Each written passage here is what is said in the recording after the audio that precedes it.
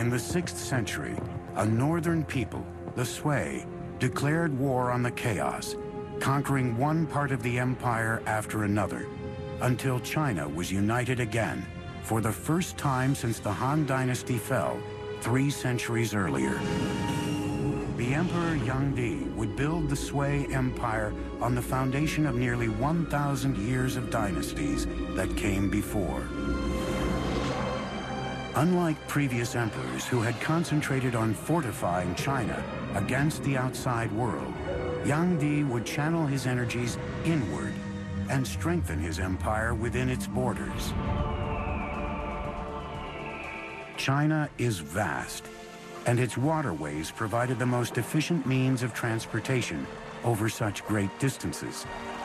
Two major rivers traverse the country east to west, the Yangtze in the south and the Yellow River in the north, but they are a thousand miles apart.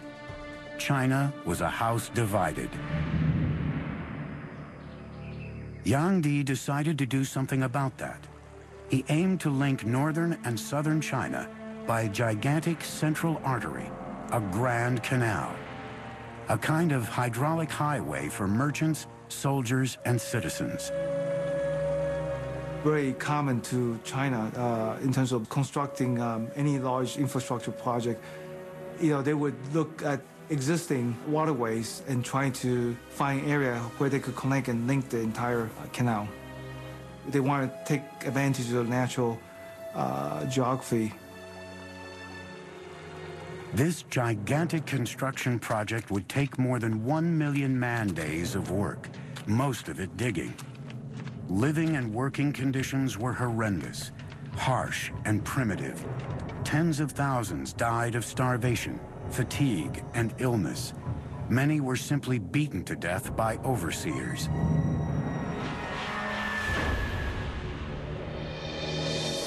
More than 24 locks were needed to create a massive network of channels. But every time you encounter a natural body of water, you need a lock to make a barrier between the canal and the lake or the river. When you go up any uh, significant grade, you have to have locks to uh, raise the water and the boats with it to get over any uh, rise in the terrain.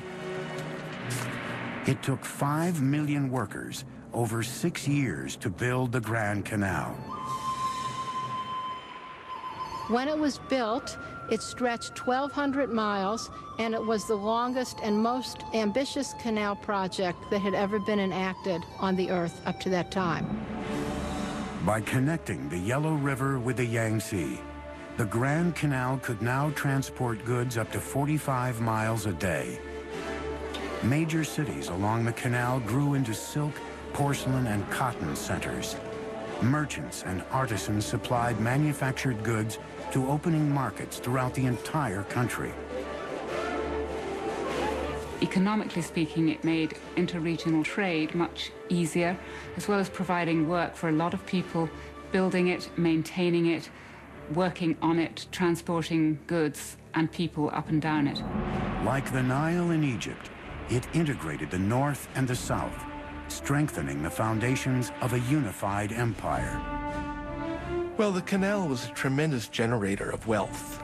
There was opportunity for poets to travel, for painters to uh, wander and uh, begin painting landscapes. So it really was an engine of cultural development, not just along its own route, but uh, with influence far beyond uh, its own confines. With his engineering feat completed, Emperor Yangdi decided it was time for a victory tour down the Grand Canal. It was a garish spectacle, with an entourage of thousands, traveling in opulence that bordered on the obscene. Well, the emperor had beautifully appointed luxurious imperial barges that could take him down the Grand Canal. So he would spend as much as half of every year enjoying himself in the sunny south.